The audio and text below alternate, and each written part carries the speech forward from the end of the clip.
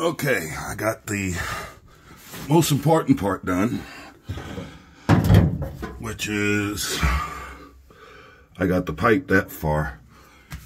Uh, I bought this trap, and I'm saying this because some of you guys in the comments, you know, we go through our little uh, fun question. The last one we did a while back we roughed the house, and someone questioned the weir on the trap and they were concerned because the distance for the trap arm to uh, the distance of the trap arm. And I actually went through and got the code book out and showed whoever that comment was where the where is W E I R in the trap. Now, here I'm not concerned because my trap arm is going to be playing long enough. But then something else, I'm looking at this trap, and this is the inlet and of course, that's the outlet. And to me, it looks backwards. And maybe my eyes are fooling me, but I'm going to find out because I'm definitely going to look in the code book. And the reason I'm talking about this is when this trap was purchased for years, I would say 50 years, if you went into a supply house with, you know, guys who've been around, you say, give me an LA trap. This is what they give you. So you know how terminology keeps changing? Uh, I don't know who's changing it, and it really doesn't matter. What's in the code book is what matters. But we called this in LA for years. Um, if there was no union here and it was glued in, we called it a line trap. A line trap is also a U uh, with an inlet outlet on each side, like you want to put it in a straight pipe. That's also a line trap. But this looks backwards to me. So I'm going to go look it up. I believe this is the, is the weir side, and this should be the inlet. So it's very possible that when they manufactured this, I'm not going to say who the manufacturer is, that somebody got the bright idea or may have got it totally backwards, or I'm wrong. But guys, you tell me in the comments. Um, first off, my first question is, what did you guys call in LA, and what you call a line trap when you go purchase? Um, so anyway, I got into a big discussion with the uh, counterperson over this, who's not a licensed master, by the way. But I would imagine he knows his stuff. So now they're calling this a union trap with a nut here. Um, he brought me an LA trap. It was inch and a half. I said, well, oh, that's inch and a half. You my waste pipe. He said, no, that's called tubular.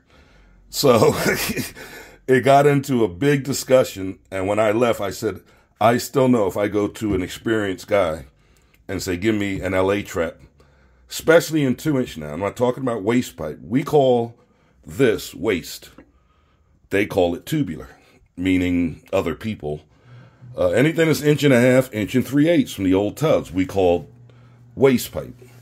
They call it tubular, and I don't know if it's the manufacturers uh, trying to set a standard naming so that they can make this stuff.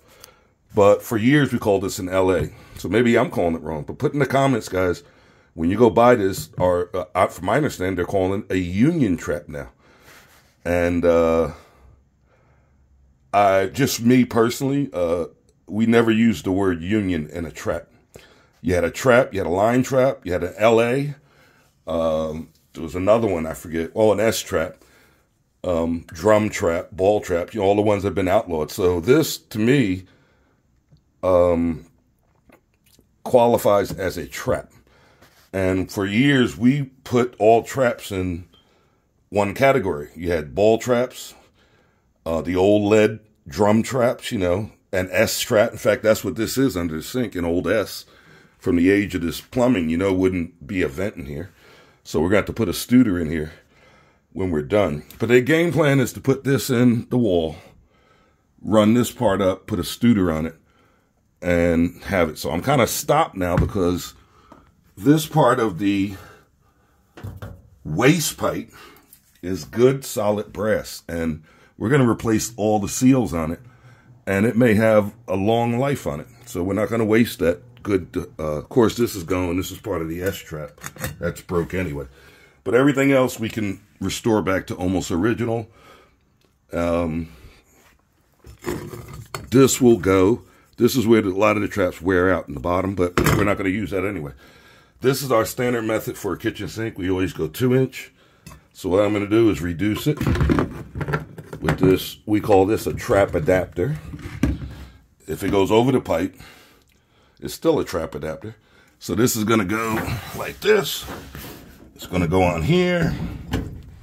And then that'll let me put that T all the way back in the corner, run up a vent, and I got room up top to get a Studor up there. But anyway, that's it for today. We had an equipment failure, so we're a day behind, but not we're we're literally an hour behind schedule. Uh, everything else in this job was was extra stuff, but this was the last part of the original task for this job, and that was to replace the entire building drain out to the lateral in the street and finish off the old piping that was left in the house. And it was about 10 feet of cast iron that was on the wall and it's gone. But anyway, yeah, drop in the comments what you think that is, guys. Ladies and guys.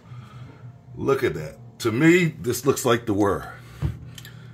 It looks like this trap is reversed. I'm curious to see if I'm nuts because I'm going to the code book. That's going to be my next video. And if it is, hey, after 50 years, I don't feel bad. See ya.